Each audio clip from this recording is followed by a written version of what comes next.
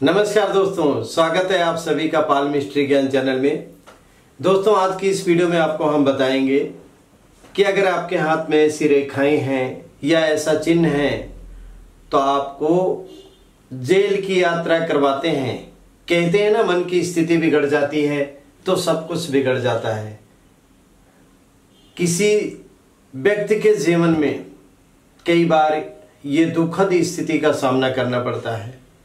आसमान में बैठे विद्यमान ग्रह, कहीं ना कहीं एक संचार की तरह, एक रेडिएशन की तरह हमारे माइंड को प्रभावित करते हैं, जिसमें कि मुख्य ग्रह होते हैं, राहु, शनि, मंगल, इनकी स्थिति बिगड़ने पर हमें उलझ जाना पड़ता है, लड़ाई का संयोग बन जाता बन जाता है, और इन स्थिति को कहीं ना कहीं कोर्ट के मैटर में जाने के बाद कोर्ट की स्थिति ऐसे हमें फैसला सुनाती है कि जो हमें जेल करवा देती है। इसको जेल योग कहते हैं। तो दोस्तों, इस वीडियो को आप पूरा देखें। इस वीडियो के माध्यम से आपको एक नई और रोचक जानकारी मिलने वाली है। और इसके पहले अगर आप लोगों ने इस चैनल को सब्सक्राइब नहीं किया है तो कृपया सब्सक्राइब अवश्य कर लें। और ये विषय अगर आपको अच्छा लगा तो वीडियो को लाइक अवश्य कर लें। आइए अपने हाथ की तीन मुख्य रेखाओं को देखते हैं। सबसे पहले ही हमारी ये जीवन रेखा। जीवन रेखा हमारे जीवन के एक एक प्रोस्पेक्ट के बारे में बताती है। और ये हमारी मस्तिष्क रेखा। हमारे माइंड के बारे में बताती है। हमारे विचार कैसे, कितनी गहराइयों पर काम कर रहा है। ये हमारी हृदय रेखा। हम किसी के साथ कितना अटैचमेंट है, हमारा प्यार है, उसके बारे में बताती है। और ये हमारी भाग रेखा। भाग रेखा जिसको हम शनि की रेखा बोलते हैं, अपने कर्म की रेखा बोलते हैं। सबसे पहले हम देखते हैं कि कोर्ट केस के संकेत। हाथ में ये मंगल का पर्वत है। इसको ना हम उर्द का मंगल बोलते हैं। उर्द मंगल बोलते हैं।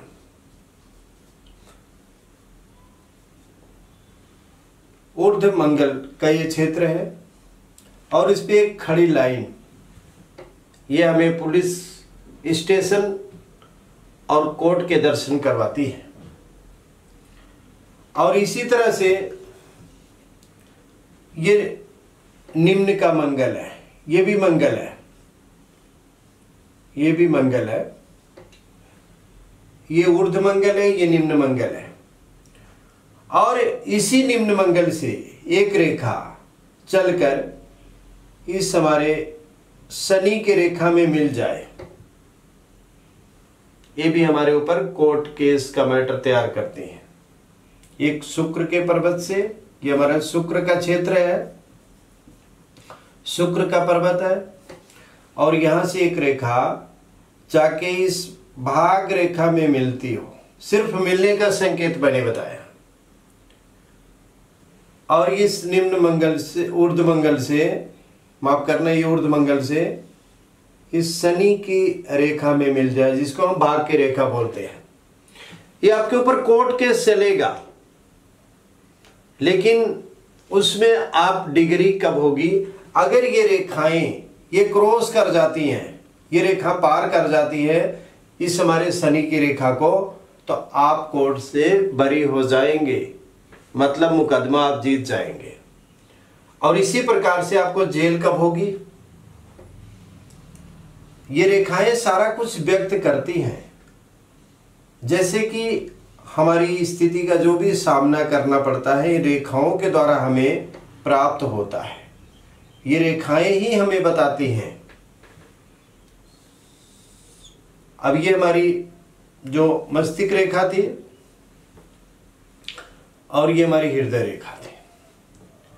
अब ये जो हमारी भाग रेखा है, भाग रेखा ये हमारी चल के, ये चंद्र की, ये चंद्र का पर्वत है, इसको हम चंद्र का पर्वत बोलते हैं। अगर इसकी तरफ़ मुड़ जाती है तो आपको थर्टी फाइव ईयर में थर्टी फाइव ईयर में आपको जेल हो जाएगी।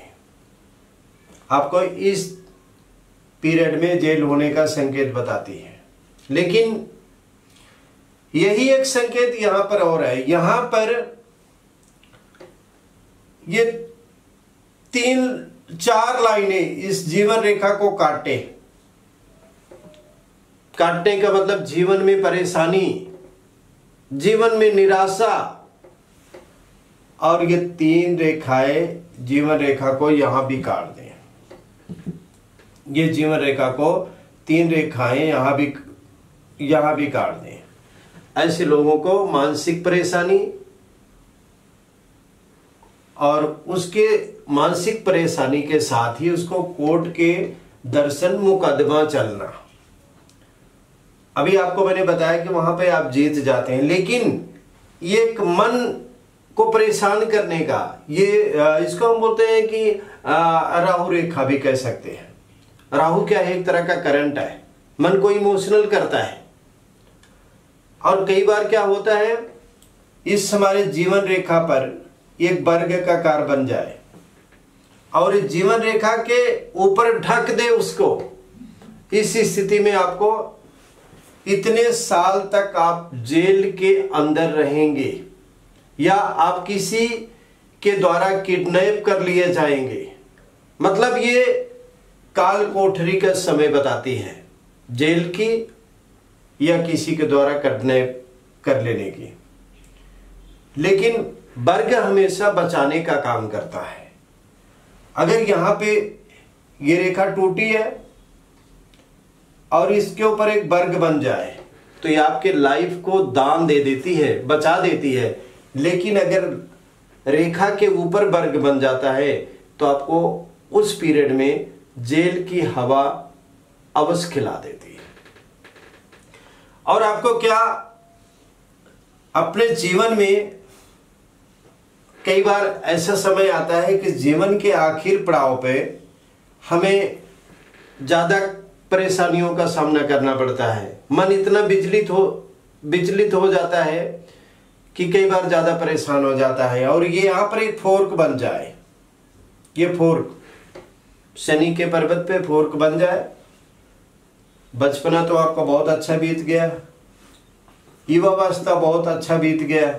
लेकिन जो अब आपकी पौड़ अवस्था आई है, उसके बाद का जो समय आपका आएगा वो आपको कहीं ना कहीं ये आपको जेल में रहना पड़ेगा, जिसको बोलते हैं कि आपको इस पीरियड में, लास्ट वाले पीरियड में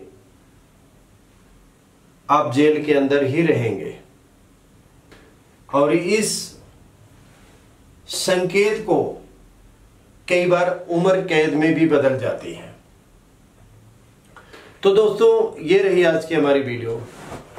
फिर एक नई वीडियो के साथ मिलते हैं और आप सबका पूरा वीडियो देखने के लिए बहुत बहुत धन्यवाद।